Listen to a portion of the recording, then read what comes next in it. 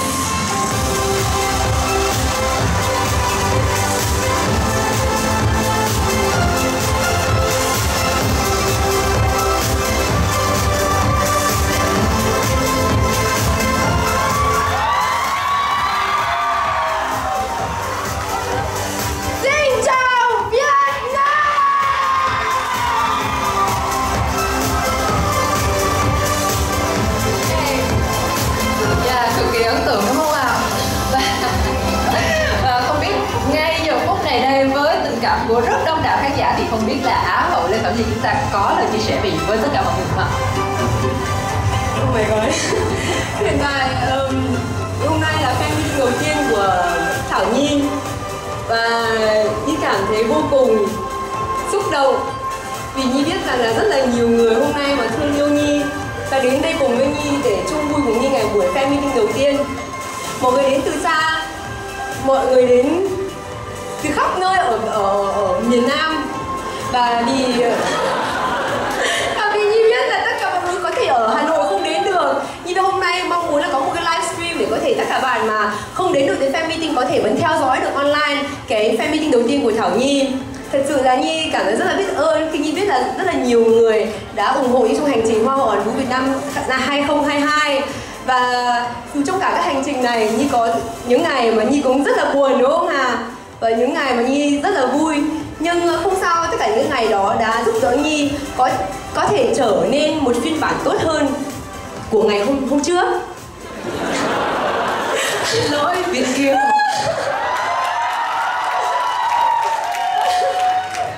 Và cũng vì sự tình yêu của mọi người Nhi có thể vượt qua kiểu lớp của mọi người ấy Nhi có thể vượt qua tất cả những cái nỗi sợ của Nhi. Ờ, và Nhi có thể ờ, ờ, nói chung là đến ngày hôm nay đứng đây ở đây.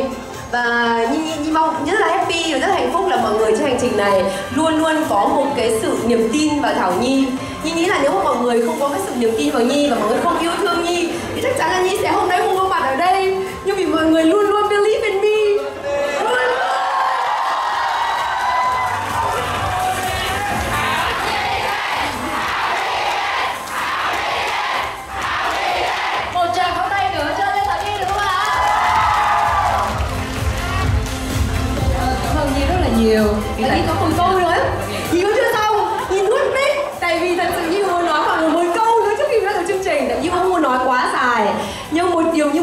người là Thật sự là gia đình của Nhi, bố mẹ của Nhi, anh em Nhi sống ở rất xa. Mọi người không có thể tham dự fan meeting đầu, ngày đầu tiên của Nhi ngoài ra bà Nội. Nhưng uh, những người quan trọng như là bạn bè của Nhi, những người trong ekip Những người uh, anh chị báo chí và tất cả fan của Nhi hôm nay có mặt ở đây. Vì đối với Nhi thật sự là tất cả mọi người hôm nay là gia đình của Nhi. Thì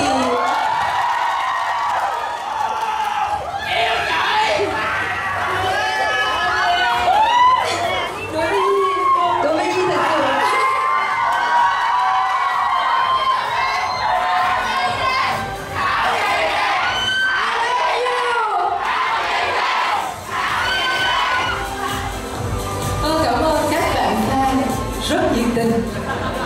Cảm ơn Á hậu Thảo Nhi chúng ta. Và à, để tiếp theo với phần sau đây thì chắc chắn để có được thành công như ngày hôm nay của Á hậu Thảo Nhi à, như những chia sẻ của bạn thì à, bạn không đứng ngay một mình.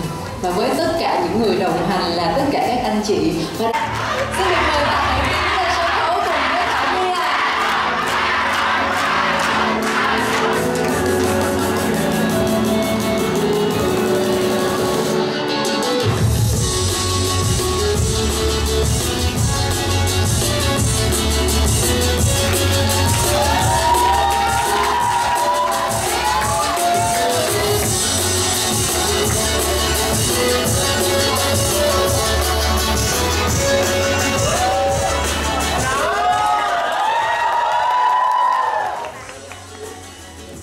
rất là Vina Woman đúng không mọi người? Bà là Vina Woman. tôi là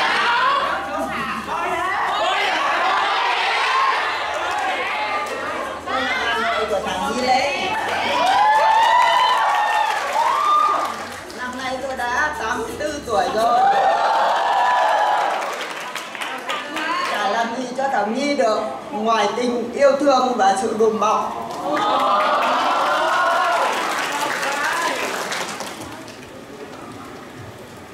thời gian vừa qua thì Nhi đã cố gắng hết mình vượt mọi khó khăn. Không nản lòng không bỏ cuộc. Chi làm cho gia đình chúng tôi rất tự hào.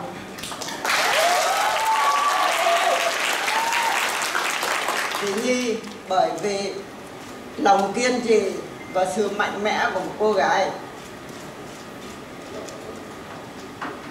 Ồ, bà Nồi.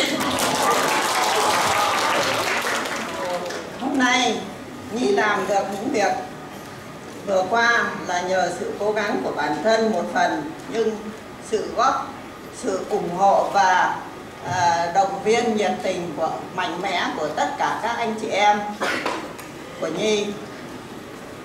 Bởi vì thế hôm nay tôi tới đây để thay mặt gia đình có lời để à, gửi tới tất cả các anh chị em và Ờ, các fan yêu quý Nhi và các ekip làm việc cùng Nhi, một lời cảm ơn chân thành và sâu sắc nhất.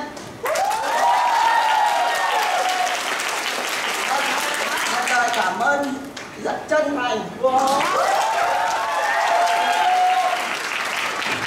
Vâng, ơn con cũng được xin phép tất cả mọi người ở đây.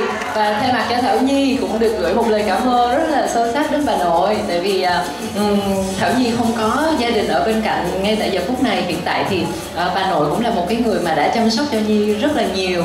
Bên cạnh Nhi giống như là một người cha một người mẹ là cả thế giới của Thảo Nhi. Và những cái bữa ăn hàng ngày mà Thảo Nhi ăn mà có được cái hình hài như ngày hôm nay cũng là một phần công sức từ bà nội. Ô một có tay nữa cho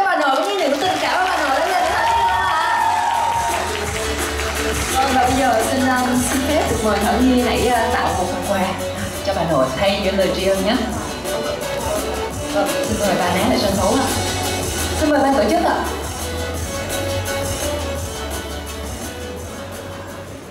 có một món quà nho nhỏ cho bà nội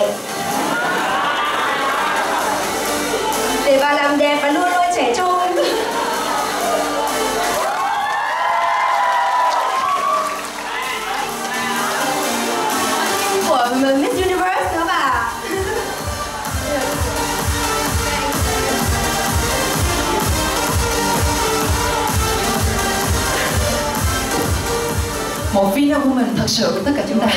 Và bà nội của Nhi là không chỉ là một Vina bình Vina Woman bình thường mà nấu cơm cho Nhi, lo lắng cho Nhi mà bà nội chính là cũng là stylist của Nhi trong thời gian vừa rồi và cũng bây giờ. Nói chung là bà giúp đỡ Nhi với tất cả mọi thứ trong cuộc sống của Nhi ờ, từ kinh doanh đến làm influencer đến làm hoa hậu á hậu. Nói chung là bà giúp đỡ Nhi vì tất cả mọi thứ. Vậy thì con rất là cảm ơn bà vì tất cả những sự tình yêu và quan tâm bà cho cho con.